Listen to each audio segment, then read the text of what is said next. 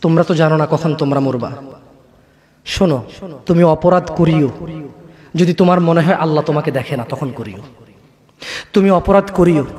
যদি তোমার মনে হয় আল্লাহ তোমাকে জিজ্ঞেস করবে না, তুমি নিশ্চিত বেঁচে যাবা। তুমি অপরাধ করিও। যদি তোমার মনে হয় যে আল্লাহ তোমার জন্য জাহান নাম নির্ধারণ করবে, আর তুমি আল্লাহকে বলব, আল্লাহ, আপনি বললেই হবে না আমি জাহান নামে যাব? যদি এই ক্ষমতার অধিকারী হও, তাহলে তুমি অপরাধ করিও। তোমাকে বলি মহিলা মা, বোন, চাচা, চাচি, নামাজ ছাড়া মানুষ মুসলমান থাকে না। ওয়াল্লাহি, আমি বলছি না কোথায় বাঁধবেন? তর্ক পরে। আমি বলছি আপনি নামাজটা স্টার্ট করেন। আমি বলছি না যে তারা ওই বিশ রাকাত পড়বেন না, আট রাকাত পড়বেন। আমি বলছি যে আপনি পড়েন, দুই রাকাত হইলেও পড়েন। আমি বলছি যে আপনি ঈশান নামাজ পনেরো রাকাত দরকার নেই, আপনি শুধু চার পড়েন। আমি কি বলছি সুন্নত বাদে দিতে? আমি বলছি যে তুমি পড়ছো না, শোনো! ভয় পেও না, ঈশান নামাজ পনেরো রাকাত তোমার উপরে ফরজ নয়। আমি তোমাকে না করছি না পনেরো রাকাত পড়তে। আমি বলছি যে তুমি নামাজই পড়ো না, চার পড়ো। এই চার রাকাত ঈশা না পড়লে তুমি মুসলিম নও। তিন রাকাত মাগরিব না পড়লে তুমি মুসলিম নও। চার রাকাত আসর না পড়লে তুমি মুসলিম নও। দেখো, আমাকে দোষ দিও না। বুখারি খোলো, সলাত অধ্যায় যাও আজান অধ্যায় যাও। আল্লাহর নবী বলেছে, তারা ওরা কাফের ওরা মুশরিক। ওদের আর আমি মুহাম্মদুর রাসূলুল্লাহ সাল্লাল্লাহু আলাইহি ওয়াসাল্লামের উম্মতের মধ্যে পার্থক্য হচ্ছে নামাজ। ও সাহাবা ও উম্মত তুমি চিনবা মুহাম্মদের উম্মতকে সাল্লাল্লাহু ও আমার উম্মত তুমি কি আমার উম্মতকে চিনতে চাও। শোনো তারা। যারা আমার উম্মত না। আর এরা যারা আমার উম্মত। ওটা আমার উম্মত, যেটা নামাজ পড়ে আমার উম্মত। তুমি আল্লাহ নবীর উম্মত ছাড়া কীভাবে মুসলমান হবা? তোমাকে আমি বলি, নামাজটা ছাড়িও না। প্লিজ। তুমি যে যে অপরাধে লিপ্ত আছো, ছেড়ে দাও, চেষ্টা করো। কিন্তু নামাজটাকে তুমি এখন থেকে করবা। তোমার ফজর মিস হওয়া চাই না। তুমি যদি সারা জীবন নামাজ না পড়ো, আমার যায় আসে না। তুমি যদি সারা জীবন নামাজ পড়ো, আমার কিছু লাভ আছে। তুমি নামাজ পড়লে নাকি আমিও? আমি আমার লাভে কথা বলছি, শোনো। তুমি নামাজ না পড়লেও আমার লাভ আছে কি? আমি নেকির উদ্দেশ্যে কথা বলছি, আমার নেকি হয়ে যাবে। কে ঠেকাবে? তুমি তো আল্লাহকে ঠেকাইতে পারবা না। তুমি নিজেকে না নামাজ থেকে বিরত রাখতে পারবা। আল্লাহ যদি নেকি দিয়ে ঠেকাইতে পারবা, তাহলে আমরা সবাই বলে বলি, আল্লাহর দিকে তাকে শেভ করিয়েন না। দেখেন, এটা অনেক কিছু না, এমন না যে শেভ করলে আপনি একেবারে কাফের হয়ে গেছেন, মুশরিক হয়ে গেছেন, এমন না। কিন্তু আপনার লজ্জা থাকা উচিত। কীভাবে কাটতেছেন এটাকে ভাই? কীভাবে? ক্যাফ এখানে মহিলার ওঠে না আপনার ওঠে। কেমনে কাটতেছেন বলেন ভাই? গলা কেটে দিবেন? কাটবেন না কেন? এটা হারাম। এটা কাটো তো হারাম। শুকর খাওয়া কি? এই যুবক তুমি ওঠো, ওঠো। এদিকে এসো। দাঁড়াও। সবাই লক্ষ্য করবেন। না ওরকে কেউ ভিডিও করিও না পরে লজ্জা পাবে ইন্টারনেট আসলে। তোমাকে এখন শুকরের মাংস দেবো খাবা? কেন খাবা না? হুম? জোর বলো। জোর বলো। আপনি শুকুর মাংস খাবেন? আপনি কুকুর মাংস খাবেন? কেন খাবেন না? কেন? কেমন হারাম? শুকুর মাংস খাওয়া কি? এই এখানে তাহলে আর বলছি না। কেউ কি রাজি হবে তার বোনের সাথে জানা করতে? কেন? কেন? কেন? কেন? তো নামাজ না পড়া কি? শুকুরের মাংস খাচ্ছ না হারাম দেখে। নামাজ ছেড়ে দিচ্ছ তো ছোট তো হারাম। তার মানে তোমার যদি স্বাদ লাগতো আর তোমার বাপ মা যদি শুকর মাংস খাইতে তুমিও খাইতা হারাম আর ঠিক। তোমার বাপ নামাজ পড়ে না যুবক তাই তুমি নামাজ পড়ো না। তোমার বাপে ভাত খায় তাই তুমি ভাত খাও পাকিস্তানের রুটি খায় তাই ওরা রুটি খায়। চাইনিজরা এইভাবে লাঠি দিয়ে খায় ওরা লাঠি দিয়ে খায়।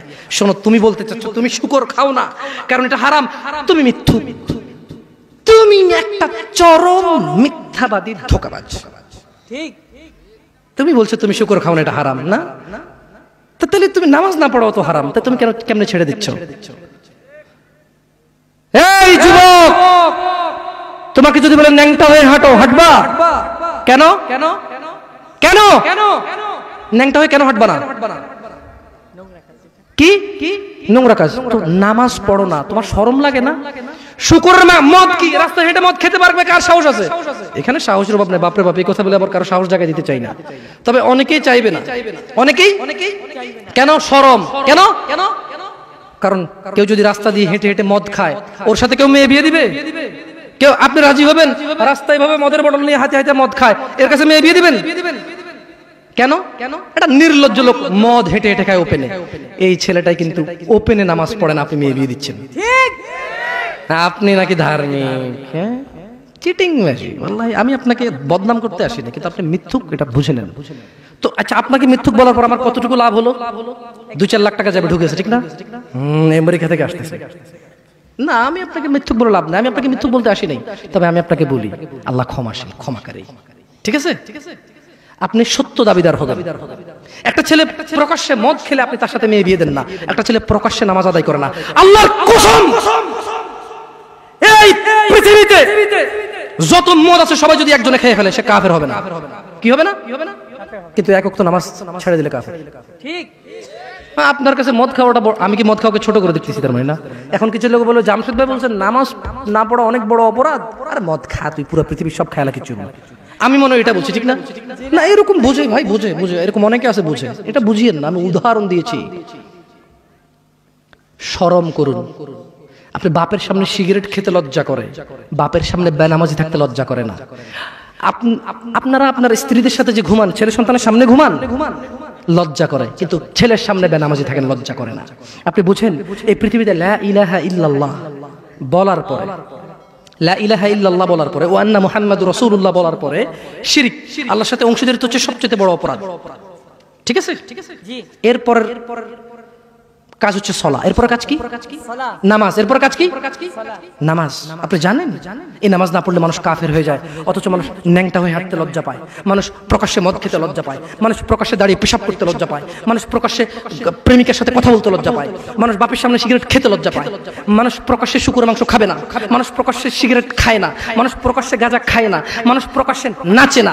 মহিলারা প্রকাশ্যে গোসল করতে লজ্জা পায়। পুরুষরা প্রকাশ্যে পায়খানা করতে লজ্জা পায়। কিন্তু কেউ, এত জঘন্যতম অপরাধ যা না করলে কাফের হয়ে যায়। প্রকাশ্যে সবাই আজান চলে কেউ মসজিদে আসে না কেউ লজ্জা পায় না। ঠিক। তাহলে দুনিয়া কি বলেন তো? তুচ্ছ। খেলতামাশা নামাজটাকে ঠিক করেন। যদি আল্লাহ আমাকে বাঁচায় রাখে আগামী বছর আনলে আজকে পরিচয় দিয়ে গেলাম। কি দিয়ে গেলাম? আমার নাম জামশেদ মজুমদার। এতেই আমার চলে। কোনো আলেম মোল্লা মুন্সি তেমন কিছু না। কোন রকমের যা পারি তা বলি। যদি আপনাদের প্রয়োজন হয় ভবিষ্যতে ডাকবেন। আজকে আল্লাহ ভীতি নিয়ে কথা বলে গেছি পরবর্তী সময় আসলে ইনশাআল্লাহ। কোন আমাল করলে মানুষ জান্নাতে যাবেই যাবে এটা নিয়ে কথা বলব ইনশাআল্লাহ। আসসালামু আলাইকুম রহমতুল্লাহ বারাকাতুহু। আমি তো হারাম হারাম রিলেশন সম্পর্কে। এগুলো বলা আছে অনেক।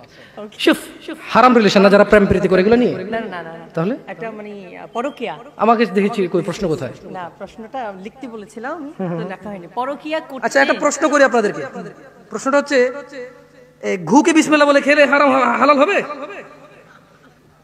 কে হাসতেছেন কেন? বিসমিল্লাহ বলে খেলে হারাম হবে? না হালাল হবে? হারাম হবে কেউ যদি জেনা করতে যায় যদি বলে যে বিসমিল্লাহ আল্লাহুম্মা জান্নিবনা শাইতান ওয়া জান্নিবি শাইতানা মা রাযাকতানা। জেনাটা হালাল হয়ে যাবে? হ্যাঁ? কেউ মক্কা শরীফে গিয়ে কাবার পাশে বসে যদি মদ খায় হালাল হয়ে যাবে? আপনার সাথে পুরুষে কথা বলা গুণা পুরুষ মহিলার সাথে কথা বলা গুণা তো এটা এটা কীভাবে হালাল করবেন? একটা ছেলে বলতেছে যে হুজুর আমরা প্রেম করি বিয়ে করলে হালাল হয়ে যাবে না?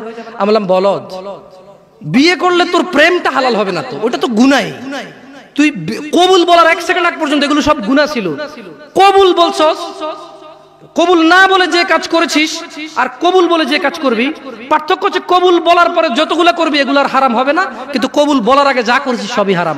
হারামকে কখনো হালাল বানানো? হারামকে কখনো হালাল বানানো যাবে না। বরঞ্চ এটা করতে পারিস যে আমি হারামে ছিলাম, আমি এখন এটা হালাল করেছি, আল্লাহ তুমি আমার হারামটাকে ক্ষমা করো। হারাম কখন হালাল হবে না। আসসালামু আলাইকুম রহমতুল্লাহ বরকাত